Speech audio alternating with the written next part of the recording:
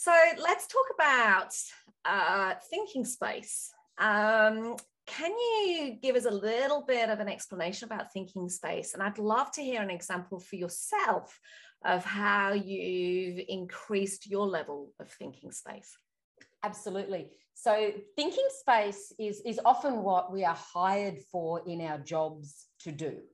So a lot of the people I work with work in a knowledge environment. So they're literally paid. A lot of the leaders I talk to, even the um, business owners I talk to, like yourself, I would hire Janine for her thinking, for her smarts. And what happens is we end up overloading ourselves with so much other stuff that we just don't give ourselves sufficient time and space to do the very thing that we've been hired or asked or employed to do. So thinking space is around it's it's often people are struggling that they're, they're overwhelmed. They like they and they look at their to-do list and they cannot figure out the first thing to do. And they almost get paralyzed by, I know I've got a lot on, but I just cannot figure out the first thing. And so what we want to do is we want to remember that the brain is meant for creating ideas, not storing them. And so the first thing we do is we've just got to get everything out of our head and create the space in there for it to do the creative ideation, in effect, have ideas. And so, a couple of things that I personally do. Um, I, I have a, sorry, I'll, I'll, grab it right now. I have a, a, a designed by myself. Um, uh, it was based on my previous book, The First Two Hours. I, I have a new one, but this is the one I've been using since you asked. And every day before I start anything, and if it means that I have to get up a bit earlier and, and do this earlier, I do, but I do not start a day without doing some kind of brain dump of everything that's on my mind. Mm-hmm. And so I literally empty out my head. Uh, and it can sometimes it's things that I need to do. And so I organize them into my to do list, which is why this book is very well used and thumbed and almost falling apart uh, at the end of the year.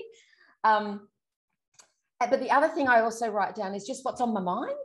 And mm. so it doesn't, you know, a lot of time we have personal admin on our mind or just thoughts on our mind or ideas on our mind. And I'm a huge fan of just getting them out of the head. So I call it a wipe the mind or a brain dump, whatever you want to do. Just empty your head every morning. And that is, for me, it feels like um, it's like taking the, imagine you take the top of your head off and give it a, give it a dust and pop it back on just gets away the cobwebs, gets away the dust, and it creates for me space to then do what I'm more often than not hired to do, which is being paid for my thinking, being paid for my thought leadership. Mm. Uh, Donna, what time of day do you, when you talk about first thing in the morning, because I love that concept. Um, and I'm thinking about myself quite selfishly as I'm interviewing you, and I go, that is the sort of thing that I do actually probably when I first sit at my desk. But mm. as you're talking and explaining this, I'm going, actually, potentially, this should be the first thing I do when I'm having my cup of tea, coffee for me in the morning. Um, because it is that when you're first waking up and the stuff that you might have been dreaming about or thinking about, um, it feels to me that potentially it's the very very first thing yeah. that you do before you get into your day because otherwise that list creation becomes work and you forget about, about the stuff that keeps you awake at night. Would that be right? So i'm curious for you when when in your day do you do when you talk about first thing is it yeah. over brekkie is it when you hit sit, get into the office? How does it work for you? It's a wee bit of both uh, so i'm usually sitting it's usually when i'm sitting at my desk but it is well before I've usually had a bit of brekkie um, beforehand. I've been for a walk and then I'm having my first cup of tea and I'm sitting, it's that space. And, and so again, it, this is the knock-on effect, right? So I organize, I, I organize my calendar. So I do have space before my first mm, gig or appointment or obligation of the day right? And so I do try and, and, and, do that first thing. But I'm actually just trying to remember, as you were asking that question, I'm just trying to remember her name. And I was hoping it would come to me in this interview. And you never know, it just might. But there was a book um, that I read years ago that changed my life, I guess, uh, called The Artist's Way. Uh, Julia Cameron, there you go. I knew I'd remember it if I uh, just tried hard enough. And Julia Cameron, so this is kind of a, a version of what she calls um, morning pages. Mm. And so she suggests that you do now, now Julia Cameron writes for, for writers who have writer's block. Um, and so that wasn't necessarily why I was doing it. I was I'd just been told that this was a great exercise. And there's a couple of other cool things in there as well. So don't be put off by, you know, I'm not a writer. Don't worry about it. She, it's good for anyone.